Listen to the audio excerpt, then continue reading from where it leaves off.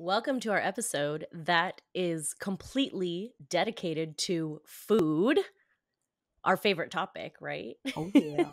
so, we decided to create a must try foods around the world episode, what you're about to hear, because we just had Brighde on as traveling as a vegan traveler. And as much as I love eating vegan and vegetarian, there are, you know, it's not available or Brighde will tell you how available it is around the world in that episode. But, you know, it reminded us of everything else delicious that we've tried on our travels, right? So I'm generally, like I said, vegetarian when I eat at home, pescatarian when I eat outside. So I don't eat meat it could be a challenge for me finding good things or trying like the actual cuisine even though a lot of places can be vegetarian friendly these days.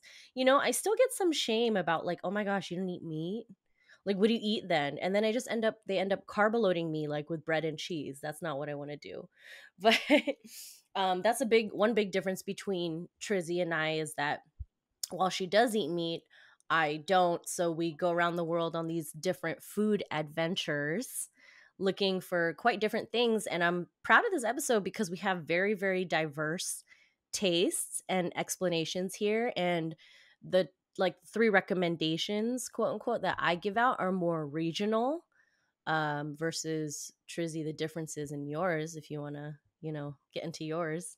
Yeah, it's very uh, specific about location and where to find a, a certain type of meal so you guys would uh you guys will listen to it and hopefully get hungry like I am right now.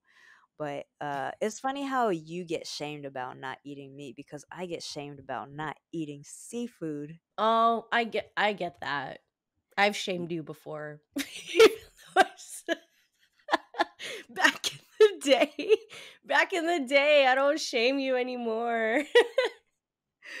Maybe because you're just like a lost cause. You're a lost cause at this point. Ain't nobody changing my mind. Shamed is like a strong word. It's more like been like Yeah. yeah. And then you know what the next thing they say is like, but you're Asian. Okay. Now that's race. Now people are just being racist. Literally, what does that have to do with anything? Yeah.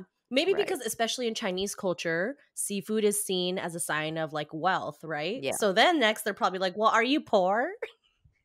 yes, I am. Uh, on a similar note, at home, I am vegan vegetarian, just like Leah is. Mm-hmm. We just splurge when we go out. Biggest category on credit card spend is always food. So, restaurants and food and entertainment. Food, entertainment, and travel, basically. And uh, speaking of food and drink, we got trusty coffee and tea by our sides. That's right. Um yo, like I gave in. It's September 1st though. I guess it counts, right? Can you guess what this is? Oh, pumpkin spice latte. Yes, ma'am. First one of the season. As we're recording, it's September 1st. You won't hear this for another few weeks, but Leah has officially had her first one. And I literally got it to record this episode. I usually don't even drink so fall funny. drinks until October because in Southern California, it's literally 110 today. And we're all sweating our cojones off. And it does not feel like fall to me. But you know what? I'm manifesting it via coffee drink. Hey man, I want my summer in LA still, so wait till I get back. yeah. Girl, you do not want the 110. I'm telling you, I don't even want the 110 unless I'm in a body of water at all times, which I'm not right now. Do you have you have tea by your side? Yeah, I do have tea. I've been sipping on it because my poor throat. But this tea is really cool. We just got it at the City Mall in Kalibo, Ooh. and it's a turmeric calamansi tea. So it's a powder. Stop. Supposed to act so as you know ginger tea, um, but it's still you know instead of ginger it's turmeric, so it's still very like anti-inflammatory. Because I've just been beaten up with mosquito bites and oh. my cough and everything. So it's a it's a remedy. So, but it's really good. But true traveler fashion, you're you know pushing through. Trizzy's coming at us live live from the Philippines right now. yeah, I'm loving it. It's it just hit midnight, so it's Friday over here while you guys are Still yeah. Thursday over there. We're literally just starting Thursday. Literally just starting the day. That's crazy. Well, cheers to our food episode because I know everybody's gonna love this. You see how big my Cheers. calamansi turmeric is? Salud. Salud. Mabuhay. This is Leah and Trizzy, and we are two voices, two views, and two ways to adventure from anywhere. We prioritize travel in our lives, and we both travel very differently. Every other Wednesday, we drop episodes featuring the coolest travelers around the globe, local business owners, community episodes from you, and of course, us, your resident travel lovers. This is Ticket to Anywhere podcast. Watch us on YouTube or anywhere you listen to podcasts. Safety Wing is the world's first international travel medical insurance developed to meet the needs of entrepreneurs and remote workers traveling or living abroad worldwide. The Safety Wing Nomad Insurance includes both travel and travel medical insurance, which includes coverage for any travel delays, lost checked bags, emergency response, and natural disasters plus coverage and access to qualified global network of hospitals and doctors for unexpected medical problems and accidents and any emergency medical evacuations. You can sign up for Nomad Insurance even if your trip is already happening, or sign up in advance by selecting a future start date. For only $42 per 4 weeks, you can be covered under Safety Wing and its Nomad Insurance. Click the link in our description for more info and to sign up. Safe travels! Here we are, separate continents. Oh my gosh. Literally separate continents, but ready to talk about some of our must try foods around the world. We're going to keep this pretty short and sweet. And even mine are more like cuisines and regions rather than like specific food minus the first one i'm about to tell you about so i'll start off my first food that i like cannot get over even years and years after the fact and i will tell this i've told this story on our thailand episode i've told this story on a few other food episodes Kate and I were staying in a hostel in Bangkok near Khao San Road. And if you know Bangkok and Khao San Road, it is very, it's like party, party all hours of the day and the night.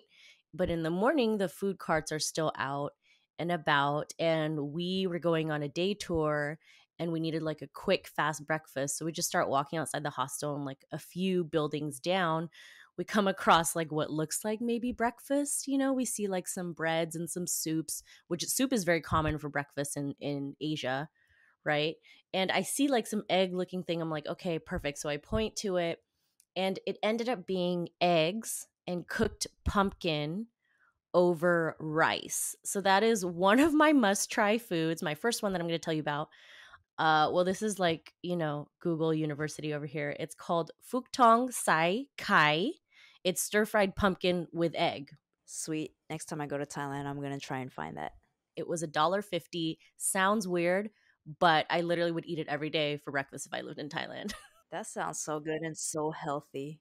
I love the fact that there's yeah, pumpkin is good for you mm-hmm. because it's filling too. Oh yeah, I don't even think it had a ton of like spices or sauce. I mean, it could have had some sauces. I just couldn't really tell, but it didn't look very like decorated or anything. It looked very simple.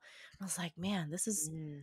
so good and so filling. All the carbs and uh, fiber and protein you could need to go on a day tour in Thailand. Yes, that's my first. That's my first one I want to tell you about.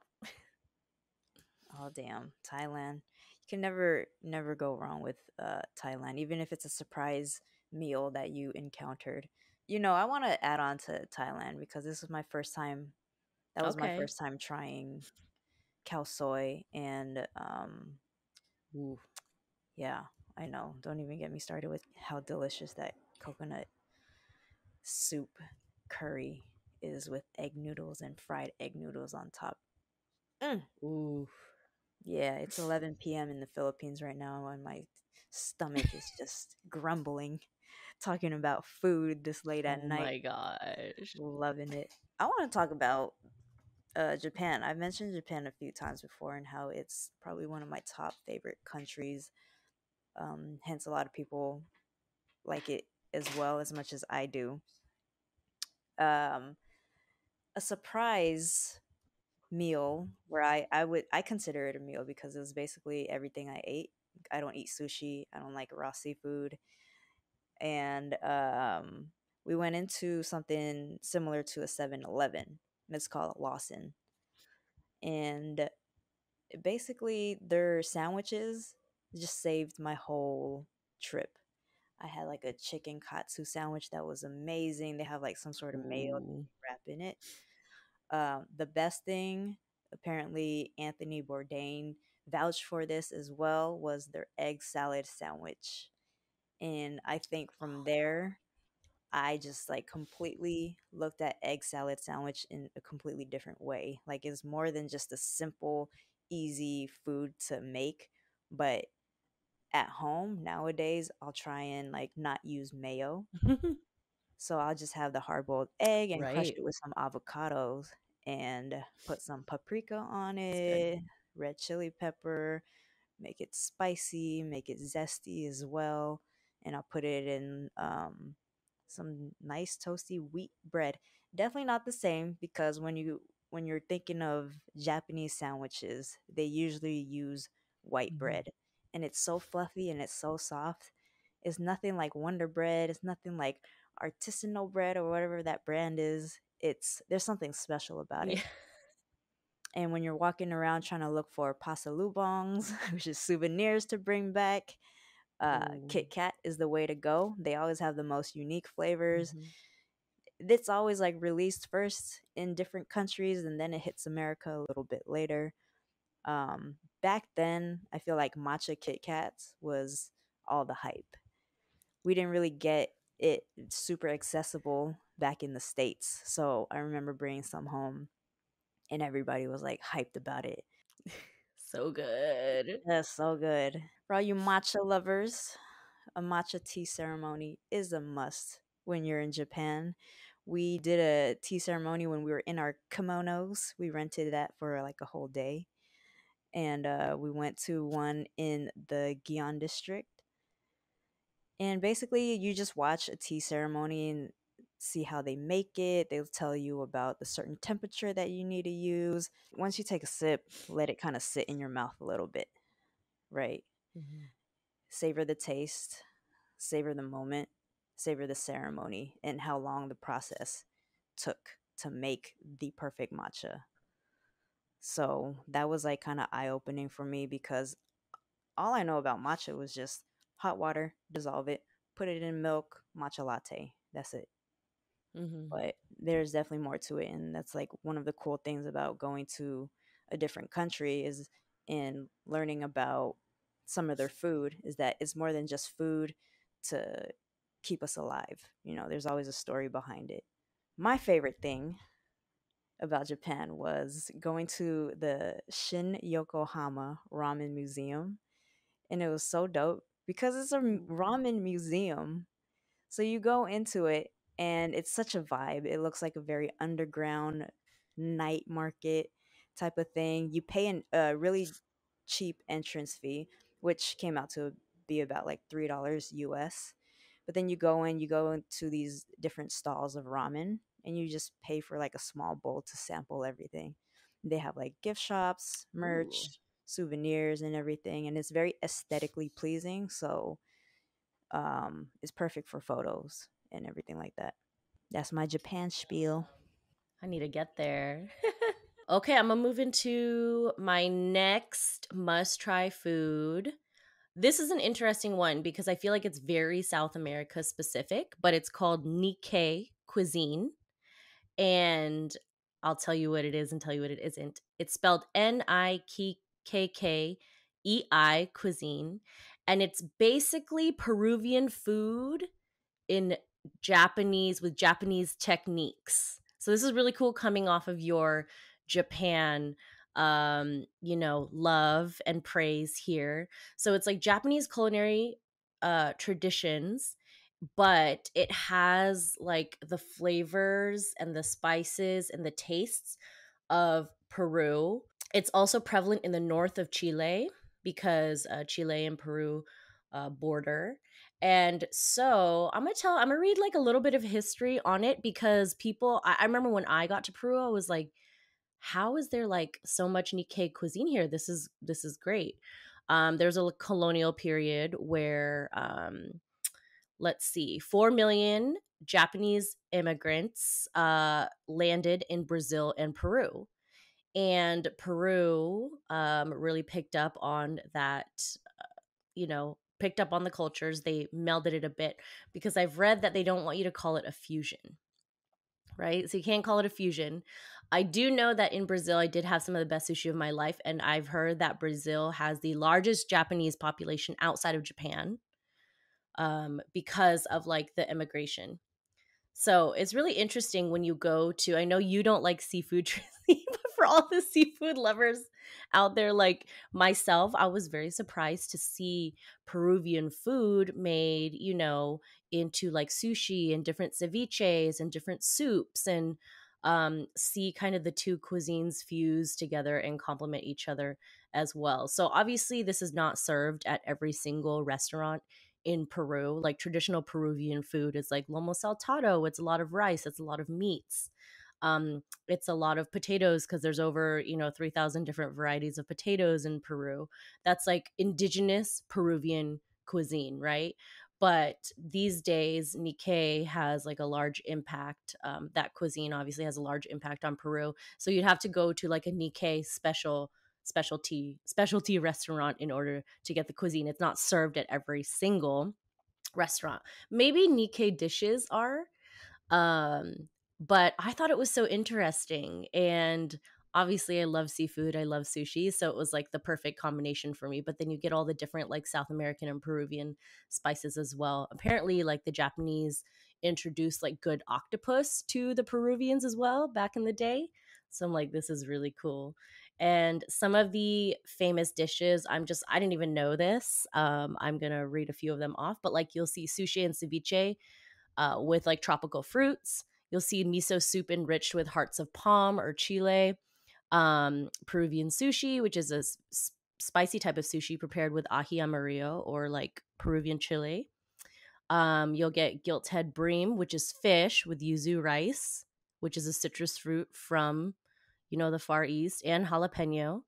And um, one of the most symbolic dishes of Peruvian Nikkei is tiradito, which is a marinade of ceviche cut in the style of sashimi. So I think this is interesting. Anyone that goes to even the north of Chile or Peru or places in Brazil where I don't believe it's called Nikkei because Brazil obviously speaks like Portuguese, they speak a different language just know that there's heavy Japanese influence in those three countries. And I encourage you to seek out trying Nikkei food and cuisine, like straight from the source. We do have some popping up around the US, but you know, it's Americanized at the same time. Did you say yuzu rice with jalapeno? Yeah, with fish in it. I know you would wouldn't like a Wait, fish. so minus the fish, that sounds so good. There's also like really on a budget when I got to Peru in my South America episode. Y'all should listen to One Year in South America. I'll tell you all about it there. Um, but I didn't have like, you know, the funds to go out and get fancy Nikkei food. I was just eating like the basic sushi and ceviche. So, my next favorite, since I don't really do seafood, but this is what I will do Singapore is probably one of the best places that I've been uh, to eat the food there and also come back having extreme cravings every now and then. And I feel as though that I haven't really found great Malaysian or Indonesian influenced food in America just yet. But imagine if I was in Bali. You know, maybe it would. Oh gosh, I know. Leah just got back from Bali. She will tell us all about that in another episode. But basically, in Singapore, it is, like I said, Malaysian, Indian, Indonesian influenced food. One of the first meals that I had was nasi lemak, which was a rice mm. dish with chicken, and the rice was made in coconut milk and that is a game changer oh, because it's yes. like fluffy and if you love like oh, coconut oh, yes. and some savory oh my gosh and the chicken was just like a flame broiled grilled into perfection and on the side you get like some salted peanuts. The nasi lemak place that we ate at for the first meal in singapore was at coconut club. So go check them out. Get some nasi lemak. A sidebar in Bali, there was in Ubud in the jungle, there's a little chain, a local chain called Tukies Coconut Shop, which is where I was raving about the coconut butter. Y'all will see that soon. also another good choice and we had it for breakfast but you could have it breakfast lunch dinner it's also a great snack is the kaya toast and we there's several locations that you could go to get it. The chain that we went to was called Toastbox. So basically, what it is, there's a kaya jam that you could buy separately. You could bring it back as a souvenir for other people. And you cook a soft boiled egg, beat it up with some soy sauce in it, and then get like a bread, put the kaya toast on it, and uh, make it into a sandwich. And then you just dip it into the soft boiled egg and soy sauce mix. And also, along with the kaya jam, is just like melted butter as well. So it's so good. When I first oh my god heard about it, Sounds I was amazing. like, I don't know, like that sounds weird because one, I didn't know what kaya meant, but had to see for myself, and it is a really really good snack, breakfast, lunch, dinner, and dessert. Of course, dessert. Yes, throw that in there. Yeah. Okay. Also, a big thing in Singapore are satay, which is like uh, chicken, beef, veggies on a skewer stick. Very similar to taiyaki, the one in Japan, but the skewer stick is accompanied mm. by these. It's a rice ball. It's rice put into a ball, but there's different ways to make it. There's also raw onion on the side and any type of vegetables mm. that you want. We specifically had ours at Satay by the Bay, which is next to Gardens by the Bay slash Marina Bay Sands in that area, mm. and it was so good. And a good drink to accompany all these meals that I am rolling out in Singapore is a soursop juice. And if you guys don't know what mm. soursop is, it's hard to describe, but it's very tangy, it's zesty, sour, um, and delicious. So imagine if you like all that flavor, you add a little bit of sweetness to it and some water, and it's very refreshing, especially in Singapore when it's a hot, humid day, which is most of the time. Mm-hmm. I'm going to add to your, well, soursop. So in Spanish, it's called guanabana. Ooh. And I. I'm obsessed with it too. I obviously is more prevalent in like humid weather tropical countries. So I had it. It's very popular in Colombia. And like I loved it so much. And they sell it fresh on the streets, but I loved it so much. I would literally like buy the shitty fake mix from the store, like the sugary fake mix from the store, and keep it in my apartment because I was like, what if I can't find it on the street vendors? So I like would keep my own at home, and every like Colombian would be like, "That's gross. Just buy it fresh from the street." I'm like, but they move around, and like you mm-hmm. can't find them, and I want it at home. But I'm I love guanabana slash soursop juice oh. as well. Oh.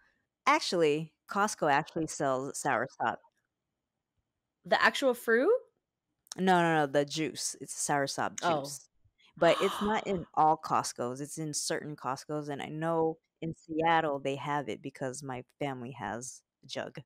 All right, another big thing that a lot of people go to Singapore for as far as food is are their hawker stalls. And it's basically like a food hall, right? In America we call it a food hall basically. But hawker mm-hmm. stalls there's like so many options, so many vendors in one place across the city. I'll name a few we that we tried. We went to the Amoy Street Hawker. Amoy is A M as in mom, O Y, and we had a noodle story. And this is basically a Singaporean style ramen. Um, you'll find cheap Michelin restaurants and hawker stalls. One that has both uh, is called Hawker Chan, and what they what they uh, what they make is the soy sauce chicken I personally like fried chicken, and this type of chicken seemed um, like steamed or boiled or something. It just wasn't my type of texture.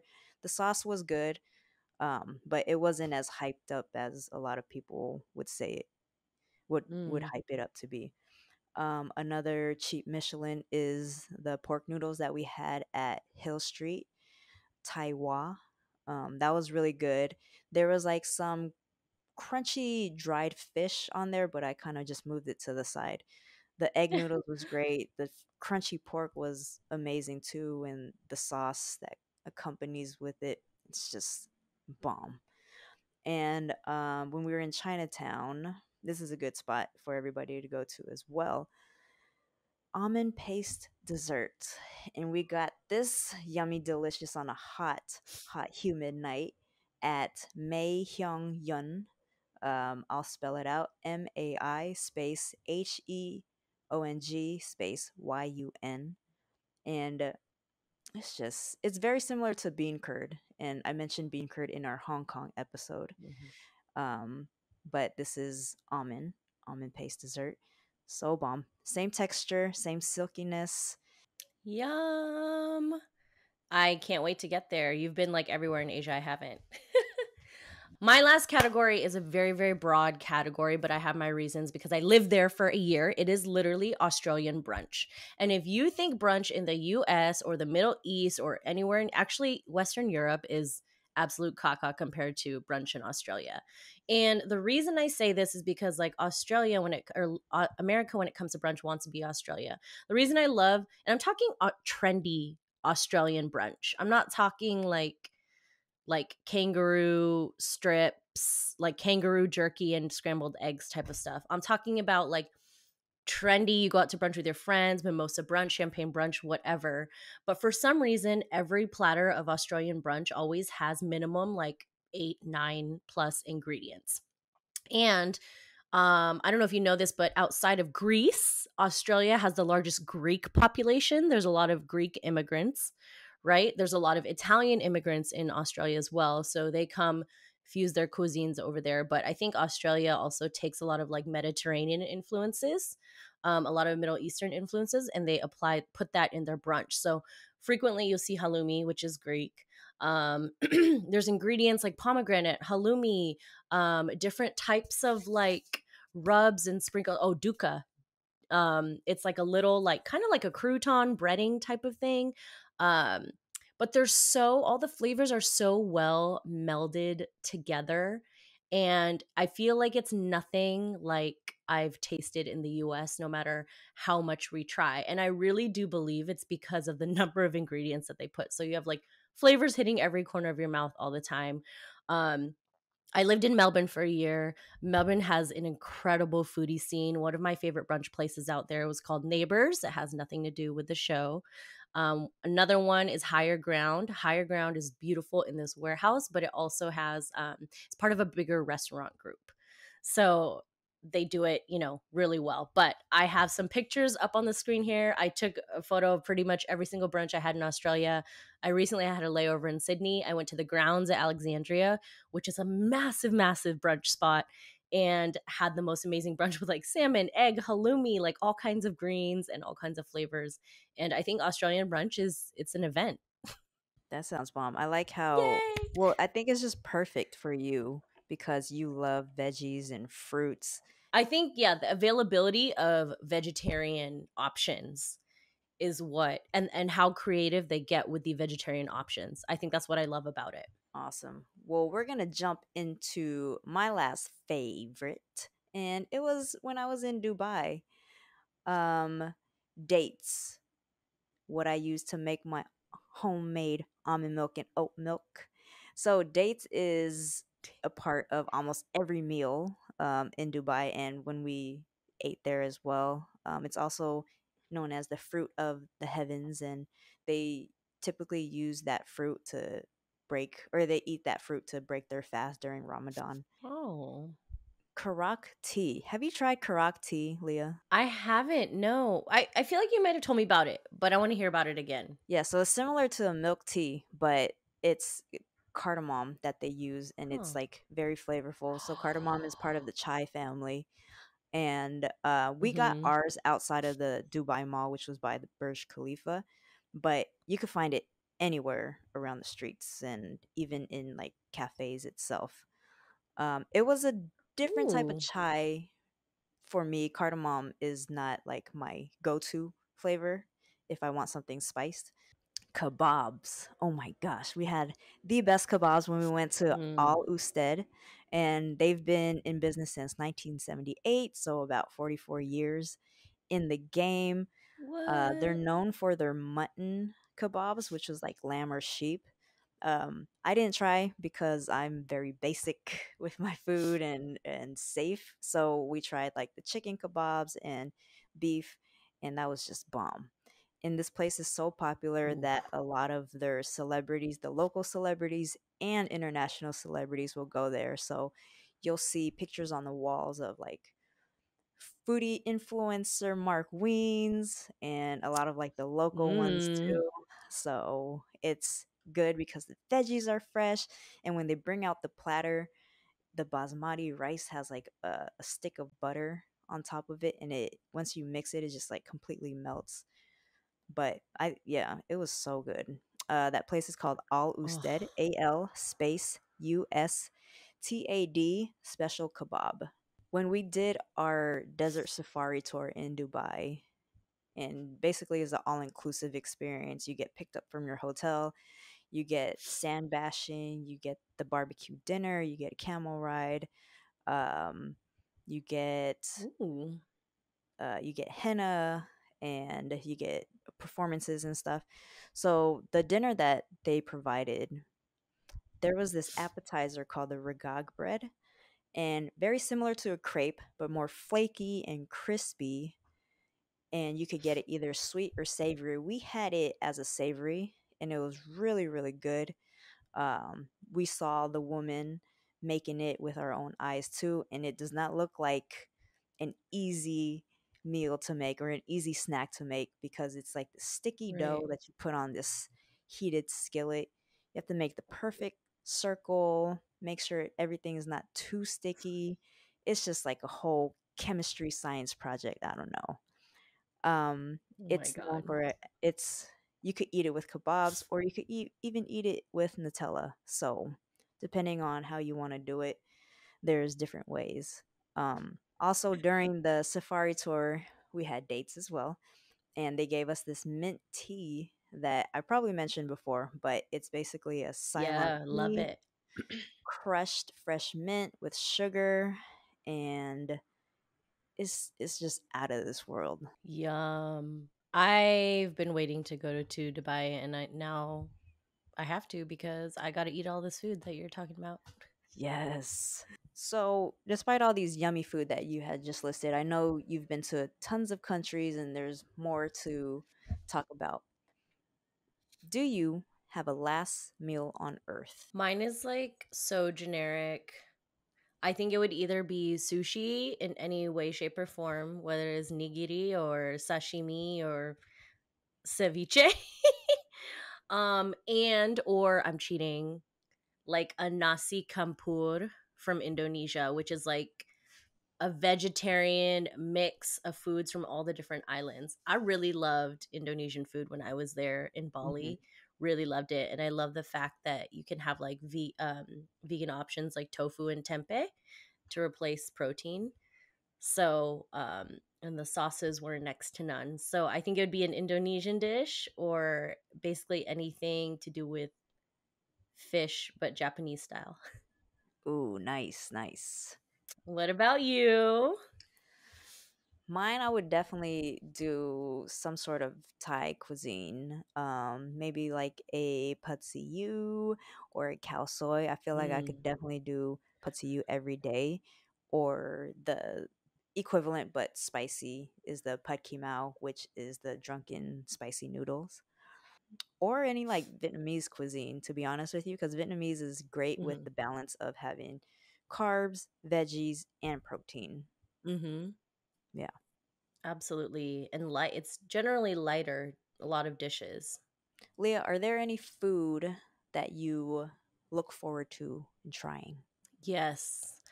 Uh, when I was traveling South America, I met a lot of Israelis because they would do their complete their military service, a few this mandatory military service in Israel for two years, and then they'd go travel South America for like a year or two.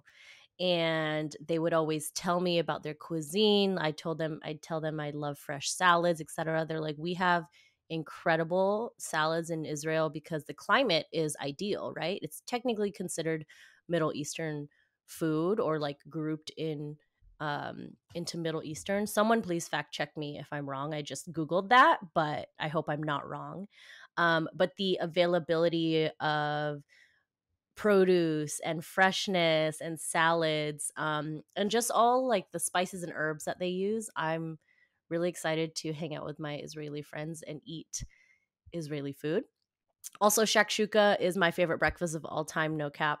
So and then um second last thing for me is um like the tapas in san sebastian area which borders france and spain i heard this is like one of the most culinarily culinarily i don't think that's a word culinary rich regions on the planet because it's in like the basque region where san sebastian is i believe San Sebastian's in the Basque region.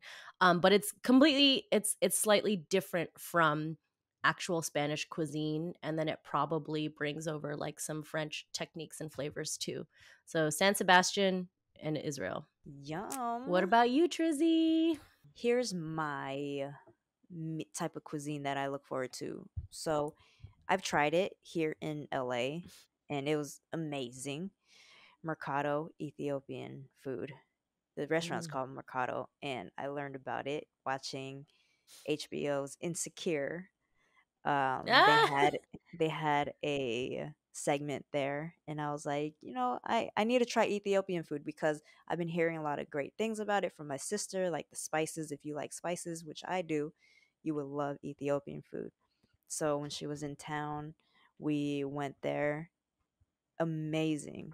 Yum. So I'm looking forward to actually going to Ethiopia in the future and hopefully having it there. Because if it's really good in LA, which is located in Little Ethiopia, imagine how amazing it will taste in the homeland.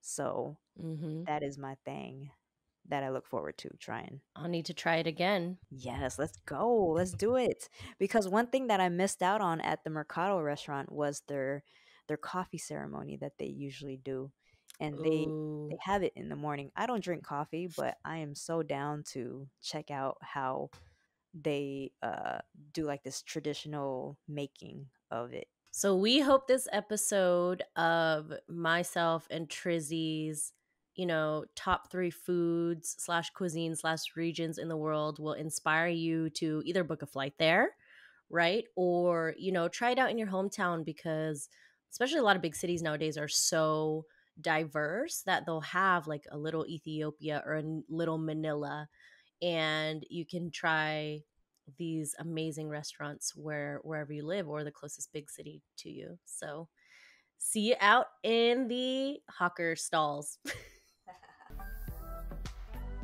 Thank you for joining us on another episode of the Ticket 2 Anywhere podcast. Don't forget to connect with us on Instagram, Facebook, Twitter, and TikTok. If you love travel as much as we do, hit subscribe on our YouTube channel as well as anywhere you listen to podcasts such as Spotify, Apple Podcasts, Google Podcasts, Stitcher, and Pocket Casts. Thank you all for your support so far. When you have the time, please leave us a review on Apple Podcasts. We love to hear your thoughts and feedback and it'll help others come across our episodes and hopefully be inspired to travel and adventure anywhere.